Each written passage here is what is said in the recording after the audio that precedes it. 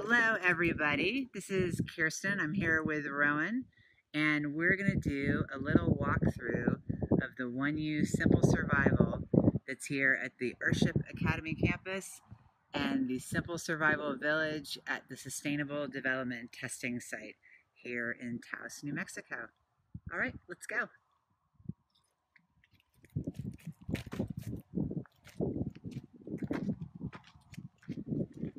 It's wintertime. It was 12 degrees this morning. We're walking into the outer greenhouse of the Simple Survival. So we're going to enter the room, the living space of the Simple Survival. And what we see all around us here at the bottom, this is a tire wall. So there's tires that are compacted with earth. And then above them we have a ferro cement vault which is basically holding the whole roof structure. Um, it would be hard to say on the camera, but it feels really warm outside. I think this morning was 12 degrees Fahrenheit. And here we should have a thermometer. We can see that it's at 70 inside the living space. So right now in the winter, what we want is basically to make use of the sunlight which is coming into the house because the sun is lower and heating up all this thermal mass around us to heat up. And this is uh, what allows us to have 70 degrees inside without having any heating. However, in the winter, what's in the summer, sorry, what's going to happen is that um, all the hot air is going to accumulate and it's going to go out from the highest point inside the house, which is in the greenhouse. At the top of the greenhouse, we have a, um, a skylight so opening the skylight will basically start a convection process which functions with this tube uh, which we have behind the house and which is completely buried under a berm of, of earth. And basically just opening it up, you can already feel that uh, fresh air is coming inside.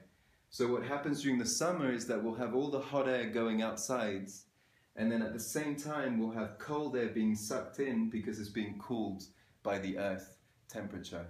So this is the convection process we use for the cooling. So this house has got the thin um, photovoltaic panel on top, which is basically feeding, uh, which is here a simple, very simple power module which we have.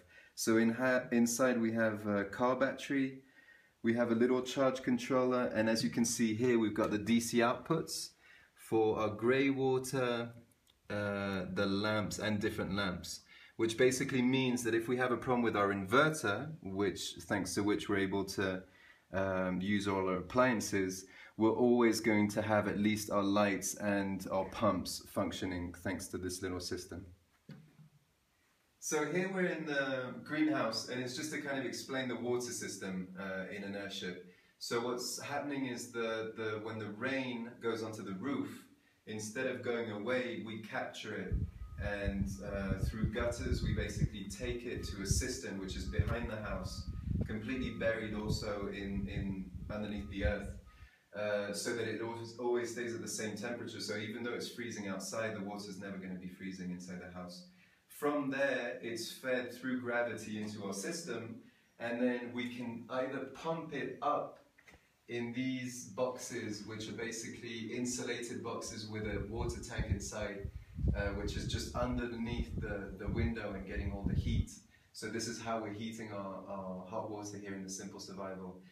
Then you will basically either have the water going into the, the, the bathroom, which we see here, which is a shower, and then trickling down and going into these planters here, all being used in the kitchen and then also joining these botanical cells here.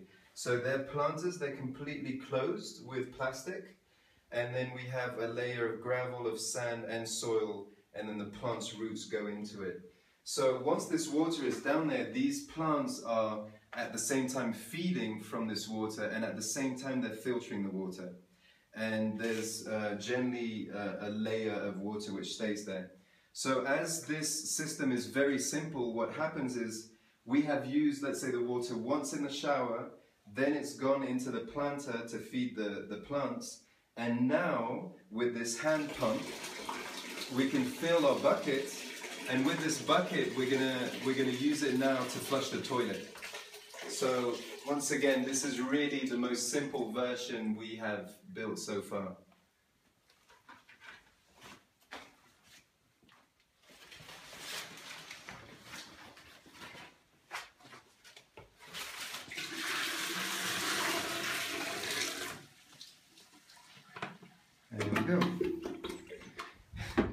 So if you want to experience simple survival living and systems, come join us here at the Earthship Village Ecologies Project and be an intern or an Earthship Academy student.